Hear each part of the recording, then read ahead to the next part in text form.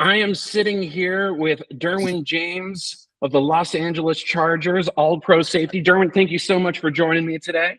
How you doing, Derwin? I'm doing fantastic. Um, I heard you recently partnered with the USA Coast Guard uh, for a day of training. Uh, tell me a little about that.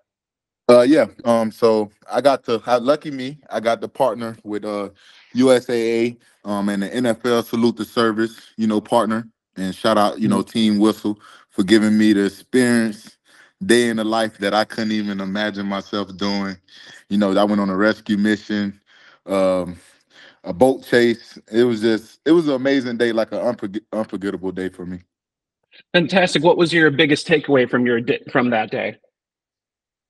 I would say I was just overwhelmed with everything from every point. I every time I thought I was having fun with one thing, that showed me something else, and I'll just be like, wow, this is even cooler or this is even tougher than I thought, you know, just being a football player.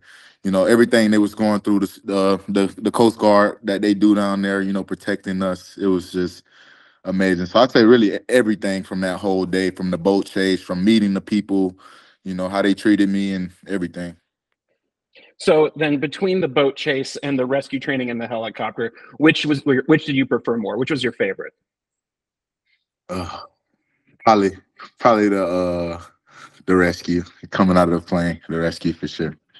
Yeah. yeah, yeah, yeah. Probably it had to be my favorite. You know, just being in that water. You know, of course I was scared. You know what was in there, but you know I felt the safest with them around me. I was depending on them uh, because you know they had the experience. I didn't have no experience in the water like that, mm-hmm.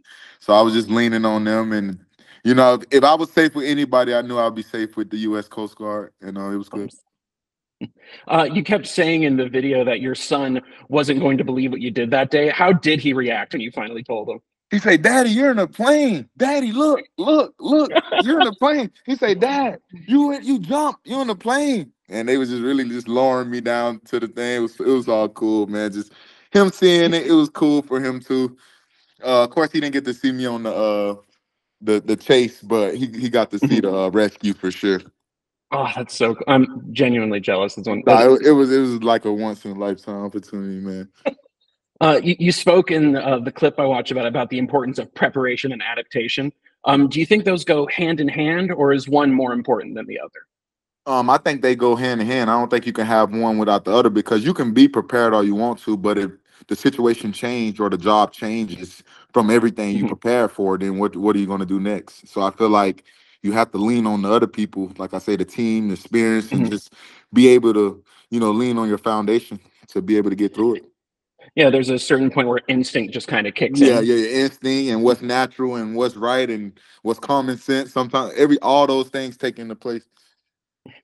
Uh, using that to kind of switch towards football right now, uh, mm-hmm. there's a ton of excitement about Jim Harbaugh you know, coming in, being a new head coach. Um, what have been some of the big differences between working with Harbaugh and then working with Brandon Staley? Uh, of course, Coach Staley was a great guy, coach, uh, mm-hmm. great coach. You know, things didn't work out for us, but uh, Coach Harbaugh, man, he's he's an alpha. He's a he's a like I say, he's he's really man all football. I mean, like I don't I don't even think it's a guy in the world that loves football more than him. Um, it's it's very noticeable, and uh, every day he's he's the same guy, and um, he just wants the best mm-hmm. for the players. Mm-hmm.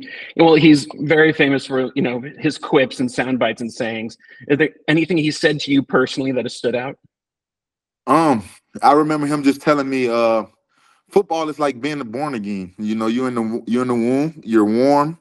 I'm like, he compared it literally to someone being pregnant. So it's like, you know, and then you just come out in the world. You know, it's the start of the season. You come out into the world, and it's just like, wow.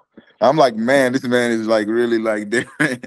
I had never heard nobody compare it to like, you know, a woman giving birth. You know, he's like, it's warm in there, it's warm in there, then you just come out and it's just time to play football. so I'm exactly. like, he's, he's different, man. Yeah, just like a giraffe, you hit the ground, you got to go run, and you got it right saying. away. yeah, yeah, he's definitely fun, man. Uh, you also have a new defensive coordinator with Jesse Minter. Um, how have how have things changed with him at the helm? Uh, he's a great young coach, man. Um, I would say my favorite thing for him, uh, one of his favorite co- quotes are like "playmakers are welcome," and um, he just wants you to make plays, man, and uh, trust your teammates around you. And um, my couple months with him, it's, it's been amazing. Fantastic. And uh, are there is, are there any rookies or new additions that have stood out for you at training camp right now? Um, I'll say everybody just working their tail off, man, and um, it's definitely uh, it's been some flashes. Uh, you know, Cam Hart made some good plays. The running back Vidal made some good plays.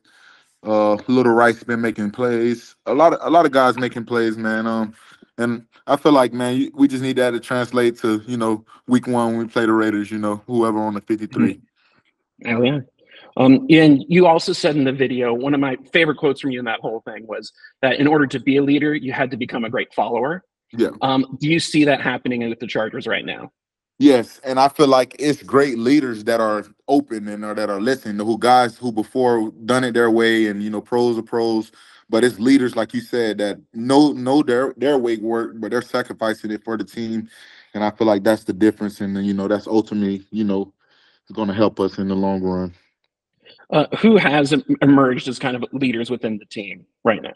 Um, I would say Asante Samuel's done a great job of just alerting, mm-hmm. taking that next step. Uh, Lohi Gilman uh, is doing a great job. Rashawn Slater for the offense. Um, mm-hmm. so a lot guys like that. Fantastic.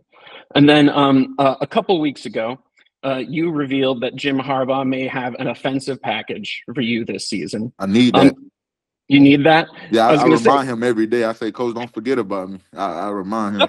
I need that. I want to score a touchdown one time in the NFL. That'd be cool, man. I, I have to stop all these guys from scoring so many. I want to at least score one, you know?